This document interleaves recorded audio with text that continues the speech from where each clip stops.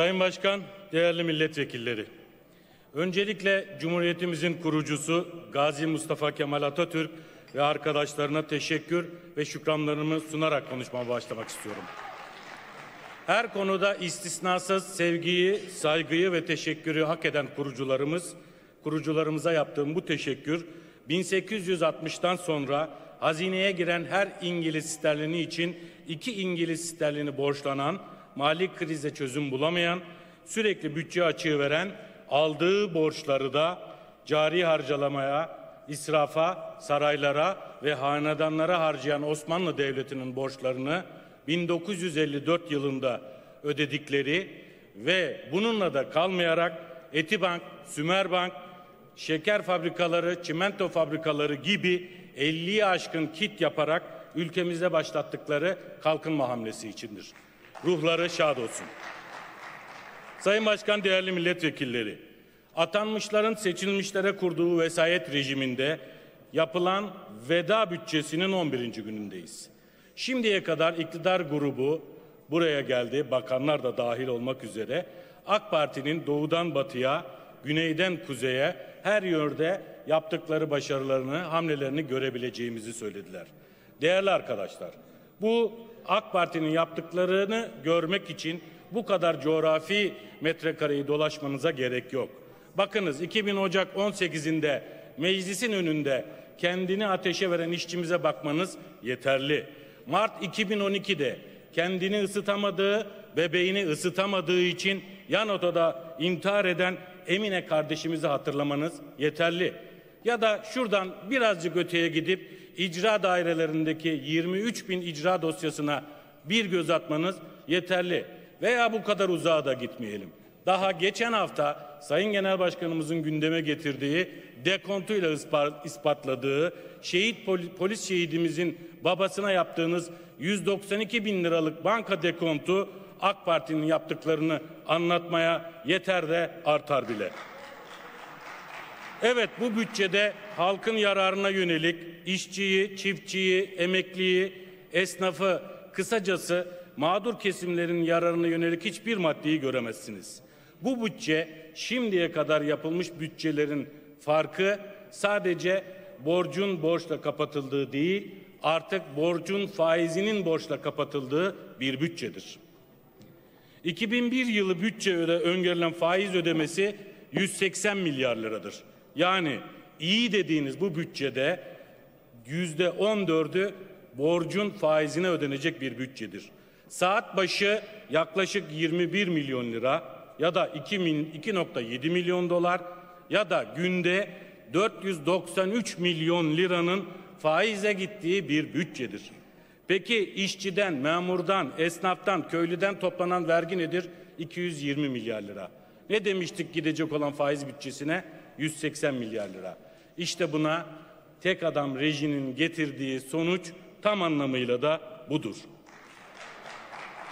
Burada biz çıkıp eleştiri olarak tek adam dediğimizde bizlere kızar, kızıyor, sitem ediyorsunuz. Ama sizler de her konuşmanızda istisnasız Cumhurbaşkanımızın olurlarıyla diyerek başladığınız cümlelerde aslında bunu siz de kabul etmiş oluyorsunuz. Sadece farkında değilsiniz ya da oturduğunuz koltuklar anlamında sineye çekiniyorsunuz. Söylediklerimizi aslında devletin resmi kurumları da doğrulamakta. Nasıl mı? TÜİK verilerine bakmak bunun için yeterli. 2005 TÜİK vergilerinde askeri ücret ki o da yalandı. Yaklaşık 11 bin 85 bin 85 dolardı. Bugün ise 8455 dolar. Bu fakirleşme değil de nedir? Bunun burada cevabının verilmesi lazım.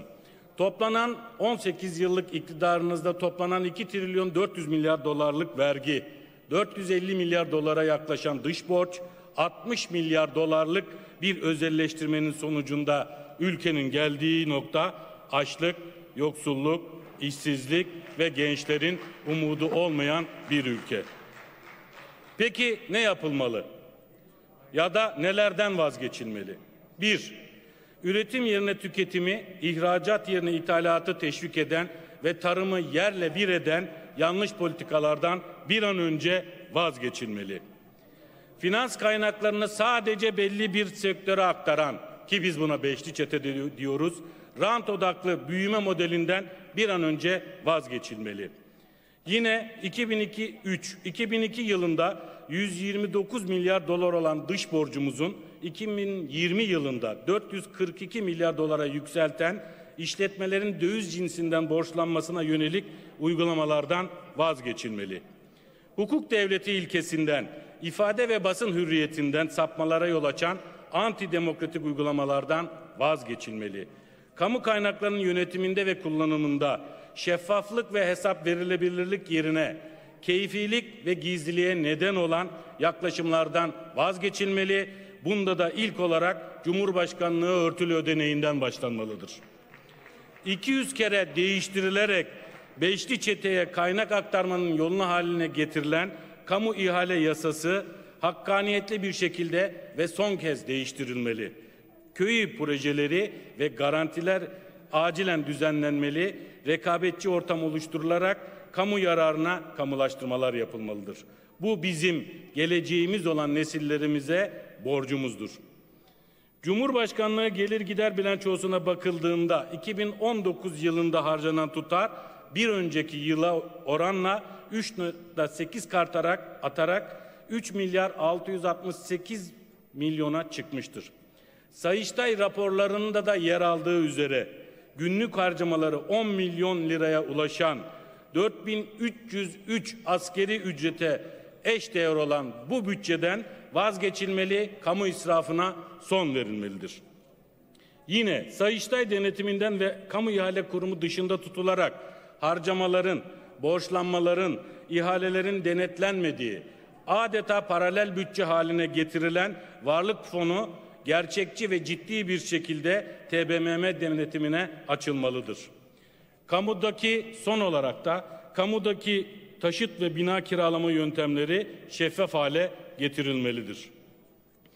Sayın Başkan, değerli milletvekilleri, bir hekim olarak söylemek isterim ki Covid elbette dünyanın bütün sorunu, Türkiye'nin de gündemini kasıp kavurmakta. Ancak burada yine bir yönetilememe ya da öngörüsüzlükle karşı karşıyayız. Zira bakanın da ifade ettiği gibi ilk etapta getirtilecek olan aşı miktarı 20 milyon doz. Son olarak ifade ettiklerinde 50 milyon doza yaklaşık bir bağlantı kurduklarını söylediler. Burada yapılması gereken iki şey var. Birincisi bu aşıların faz 3 denemelerinde güvencesi güvenli olduğunu açıklayacak olan özerk olan kurumu 2011 yılında yani Hıfzı Sıva, Refik Saydam Hıfzı Sıva Enstitüsü'nü kapattığınıza göre bunların güvenlik raporu özerk olmayan laboratuvarlarca verilecek ve yine Türkiye İlaç ve Tıbbi Kurumu tarafından onaylanacaktır. Şimdi burada iki sorun var.